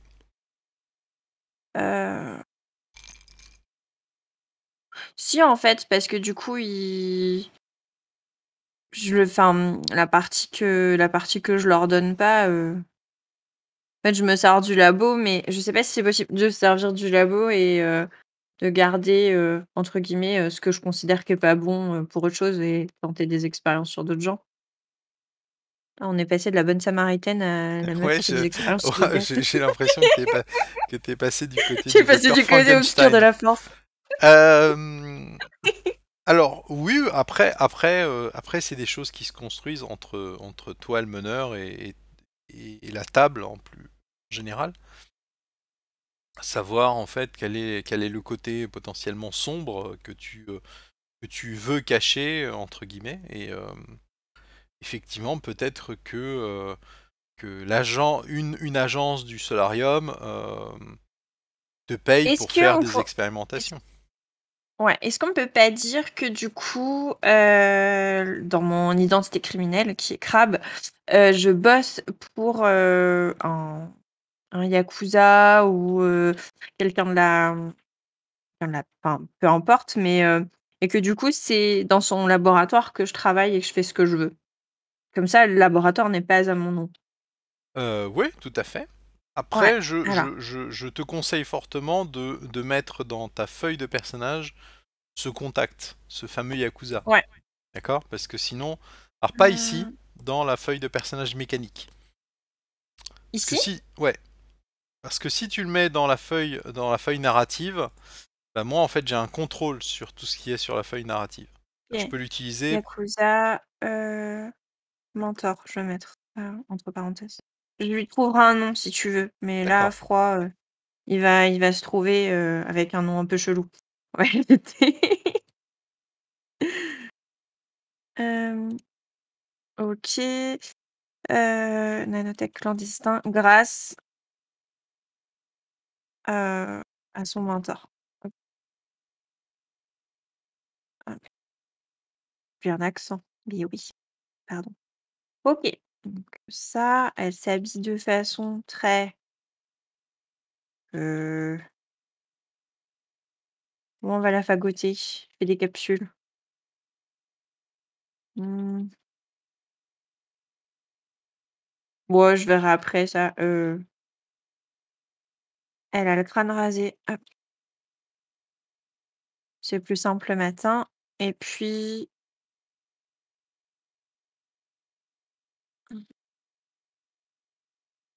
Et voilà. Ah, je sais, crâne rasé.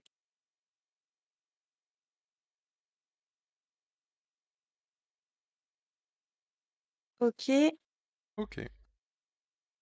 On va faire comme ça, mmh.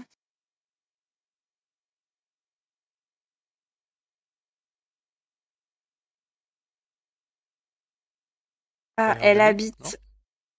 Ah. Hein? Non, non, vas-y.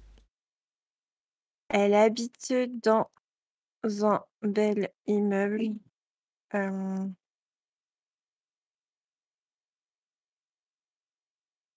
et puis, heu, quand tu dis la ville, moi du coup j'avais dit qu'elle était, hem qu'elle était du côté, asiatique. Ouais, on Est-ce qu'on regarder les appelle ouais. Regarde. Alors attends, Là je l'ai sinon. La carte, heu, oui, bah, en fait, sinon elle est aussi sur le Miro, un peu plus bas. C'est vrai. Alors attends. Un peu plus bas? Ouais. Ou je beaucoup je plus vais bas? te je vais te Ah bon, bon. téléporter, heu, voilà. Heu, là j'ai les fiches de perso. OK, solarium. Voilà, donc le solarium en fait, c'est l'Asie du Sud-Est et une partie, heu, de l'Afrique, ici. Donc ils ont comme ils ont 3 capitales. 3 centres d'habitation principales. Mmh mh. On a, heu, Toyo Palace, Solarium Palace et South Palace. Donc ça, ce sont des regroupements de de de de d'agglomérations, donc d'unités de vie. Il y en a plein d'autres, hein, des unités de vie, mais elles sont totalement endommagées, elles n'ont pas été réhabilitées. D'accord? Donc la population est est principalement concentrée ici. Heu, tu peux, si tu veux, heu, potentiellement aller, heu, et imaginer que, dans des unités de vie qui ont été laissées à l'abandon, qui ont pas été réhabilitées, qui sont pas très loin du Solarium Palace ou de South Palace, les le fameux groupe de yakuza, pour lequel tu tu travailles Ouais. heu, potentiellement ils ont ils ont ils squattent en fait des unités de vie laissées à l'abandon. Mmh, non, j'aime bien Solarium Palace. Je trouve OK. ça ça correspond bien à ce que je pro je me projetais du truc, donc heu, ça va très bien. Laisse prendre, heu que je retrouve la fiche. Hop. Elle est là, hop. Tchouk. Elle habite dans un bel immeuble dans la zone Solarium Pa hop.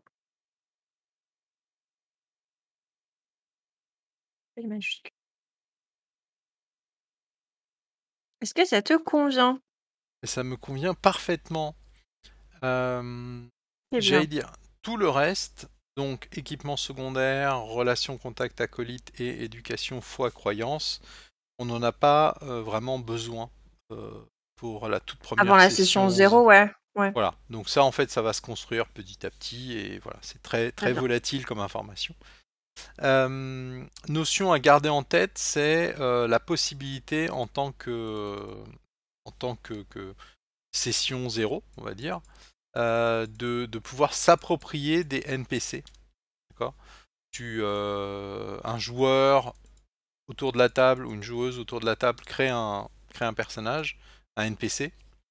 Le meneur crée un NPC, bah, en fait, tu peux te l'approprier parce que tu le trouves sympa, heu et donc toi, tu vas dire: «Bah, en fait, heu, lui, heu, bah, en fait, lui lui, je le connais bien» et tu tu inventes une histoire avec lui et tu, et tu vas l'intégrer, sans difficulté, tu peux l'intégrer en fait dans la dans la dans la section relations, contacts. Voilà, on a fait un petit peu le tour. Tu n'as pas spécialement ouais? à singularité ici, Ouais. heu, c'est pas moi qui ai mis agile, je Non. pense que c'était de En l'ancienne fait, on a exactement, on on les a pas modifiées en fait ces valeurs-là, ici. est-ce que tu peux juste me rappeler singularité, heu, du coup, heu, parce que du coup en haut j'ai mis mi minutieuse et méticuleuse. Est-ce que ce serait pas plutôt une singularité puisque agile finalement, Alors, c'est un. Alors, euh, ça, il peut y avoir des doubles, des doublons. D'accord? C'est pas très grave. Euh, alors, singularité, en fait, c'est un élément mécanique du jeu qui, euh, qui va correspondre à, une, une, caractéristique dans un jeu de rôle classique. donc, si tu mets précise, mm-hmm. ça veut dire que, bah, si, alors, si je traduis ça en, langage donjon et dragon, c'est que tu vas avoir en fait une dextérité qui va va être assez élevée. Ouais. D'accord? Et donc, quand on elle pas, elle, est pas brutale, donc elle peut être, avoir de la dextérité, ça me semble cohérent. Voilà, donc quand, quand tu vas, euh, par exemple, devoir euh, euh, résoudre une scène de façon... avec une opposition. Donc il y a des scènes qui sont dites d'information et des scènes qui, sont, qui ont pour objectif de, de générer une opposition. Donc pour, pour, générer une opposition, tu sais, je sais pas si tu te souviens, tu vas, euh, le meneur va te dire, bah en fait, tu as une opposition de 12 points d'intensité ou de 9 points d'intensité, etc. Donc en fait, ce sont des, points de vie euh, ou des points de dégâts que tu vas devoir infliger. Si l'opposition tombe à 0, tu l'as résolu. La singularité permet en fait justement de, rajouter euh, de rajouter euh, des, euh, de l'intensité en fait à ta scène. Donc, tu veux crocheter une porte. Euh, le meneur te dit bah tu peux utiliser créativité ou dynamisme. Donc ça, ça va être le nombre de dés que tu vas lancer. D'accord. le meneur te dit bah en fait c'est cette porte, cette serrure, elle a de 12 points de résistance. D'accord euh, chaque unité narrative va te permettre de débloquer une ressource ici. Donc, si je débloque, euh, je sais pas, hop là, je débloque, j'ai réussi à obtenir deux unités narratives. Première unité narrative, je débloque boîte à outils. D'accord Deuxième unité narrative, je débloque euh, précise. Précise. Donc ça me fait un total de 7. Donc je viens de réduire la résistance de la porte de, euh, de, 7, points. D'accord Ok. Donc en fait c'est une scène et soit en fait une scène d'information qui a pour objectif d'obtenir une information, soit c'est une scène euh, qui a un objectif d'opposition. Euh, donc voilà, donc précise correspond effectivement à ton, à ton personnage. Il faudra imaginer deux capacités. Ici. Ok. Donc il y en a une qui est, euh, on va dire, plus importante que l'autre, puisque elle te fournit la valeur qui est à, droite, c'est le nombre de points d'intensité euh, que tu peux débloquer. Et la valeur qui est à gauche, c'est le nombre de points de, de dés qu'elle peut te donner. Voilà. Euh, donc là, tu m'as, tu as déjà inventé. Sens quantique, c'était pas nous. Non, non, non. Les deux, les deux, c'était pas, c'était, c'était pas toi. Et ici, tu avais inventé, enfin, tu avais mis le shuriken et on avait rajouté le capsule. Et donc les autres, en fait, c'est, il faut les remplacer. Ça marche. Et répartir les trois points qui sont là. Je crois que le chat fait dodo, alors on va devoir se débrouiller par nous-mêmes. Hein. Exactement. Triste. Mais que veux-tu C'est comme ça. C'est les choses qui, qui, arrivent. Mais il est déjà 22h45, donc.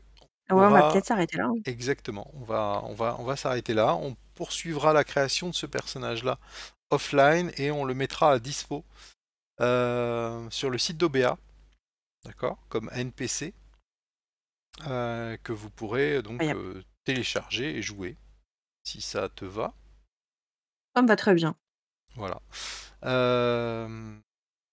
Et puis on vous tiendra un petit peu au courant.